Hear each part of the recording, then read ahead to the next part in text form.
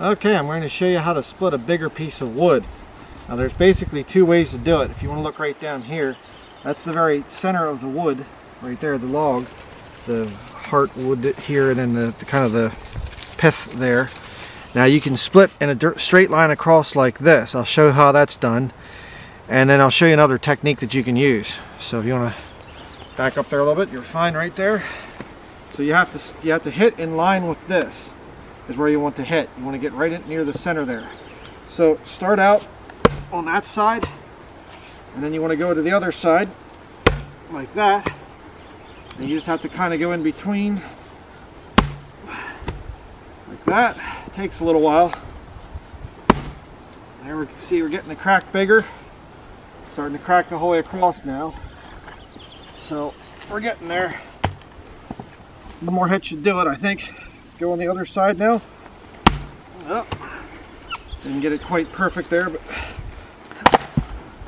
so there's that. This is a birch, old birch tree.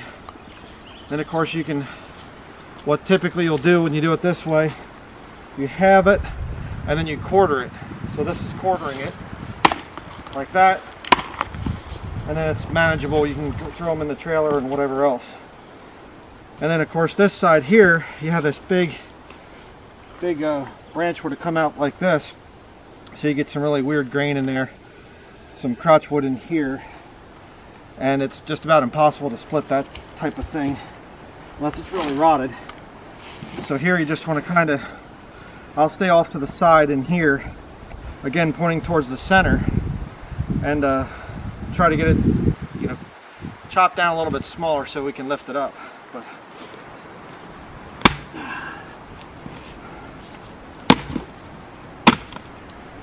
bark's holding it on, but so a little bit more manageable. And then what you do is to get it lifted up, you just take your hookaroon like that, sink it in, lift it, and that's it.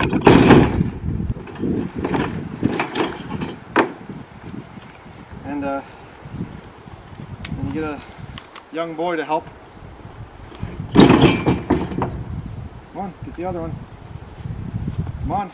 I'm not paying you 25 cents a day for. All right. now that's done. Let me get another one over here. Uh, might be able to do it with this one. I don't know.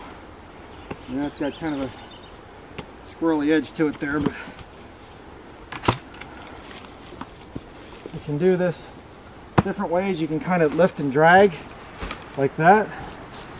Or if you can get it over on the side, this one's got that big crotchwood area there again.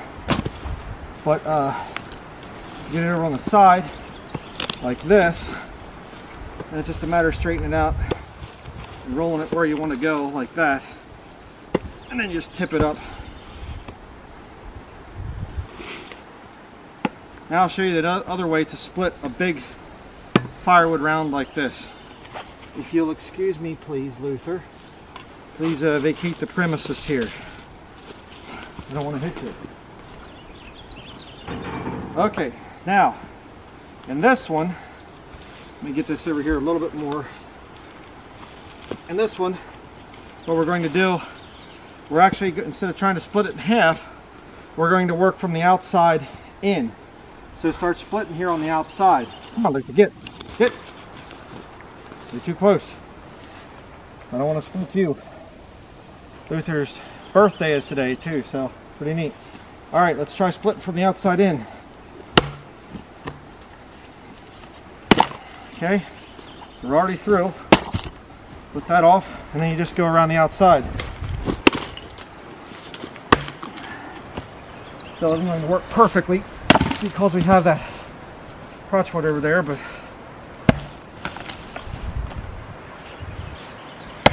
Ah, yeah, see, it's that green is really hard to work with. You get kind of bigger. You can see how wide that piece is right there. Well, fairly simple because you just pop it right in the middle and it splits.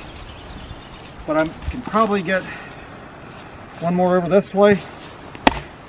Yeah, like that. maybe another, no. and then see, again, here we have the center right there. So I could still split this way, which is what I'm going to do now.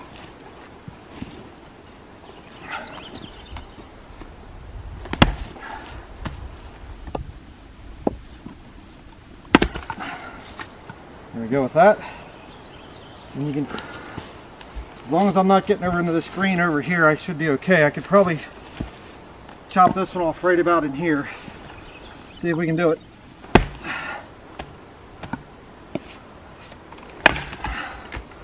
Yes, we can. So that just shows how to do some um, bigger rounds of firewood if you get into that. Most of the stuff here on our property especially, it was logged really hard. This big birch tree, they left it because it was not real perfectly straight. A lot of branches coming off. And uh, so it fell down, I think two years ago. And we've just been trying to get back in. Our trail's way over that way. So we had to cut a trail back in here, a little side road, so we could uh, split this thing. But uh, I'll show you now how to how to buck a big log safely so you don't uh, get your bar pinched. So we'll be right back.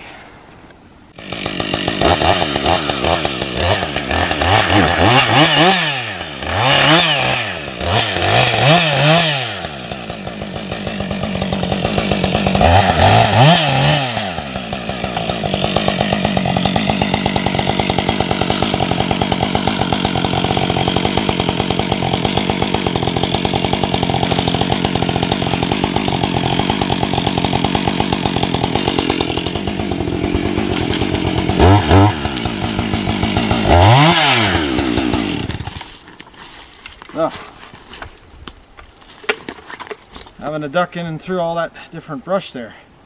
All right, um, let me explain here what I'm going to be doing. I'm going to basically, uh, it'd be a, basically a bucking cut like you would use in logging when you're cutting to different lengths. Um, and what a lot of guys do is they start at the top and they cut down, then try to come up underneath and cut up underneath. And a lot of times you end up getting your bar pinched doing that. So I'm going to show you a good way to do it before you do this, before you start to work on stuff like this, you want to make sure what's underneath your log. Um, this thing here, if you can see down here, there's a log going this way. That's this old rotted log, so it's up on top of that old rotted log. So, and down under here, it's just, you know, the, the rotted log. So there's no big rocks or anything underneath this which is rather important. Um, because if you have a big rock, uh, your cutters and your rakers and things don't tend to like rocks. Uh, I found that out plenty of times in my years of doing some logging and firewood cutting.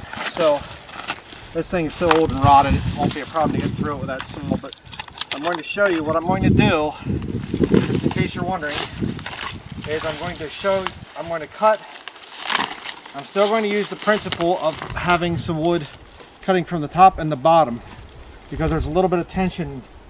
It's, it's here leaning, touching there, and then back there. And so what I'm going to do is I'm going to cut and get my saw almost straight up and down and bring it back and then just have a little bit of section in here that I can finish very easily. So that's what I'm going to do for this log. So let's get to it.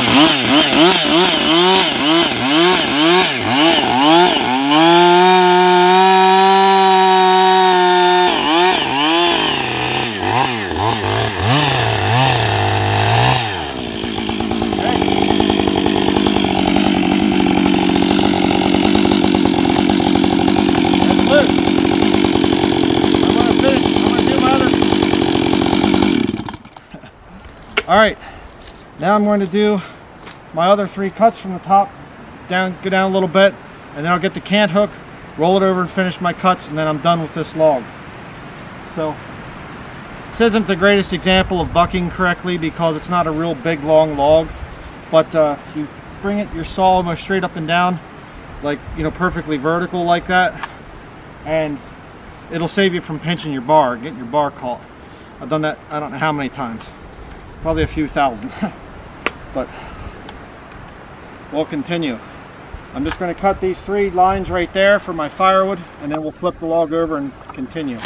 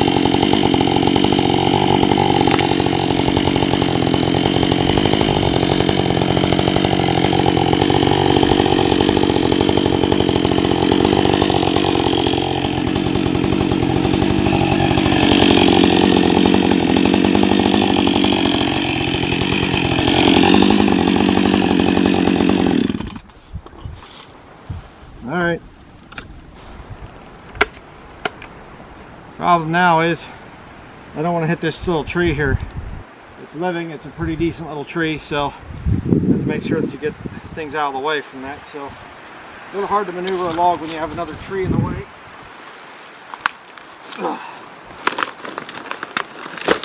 There. Now we're ready.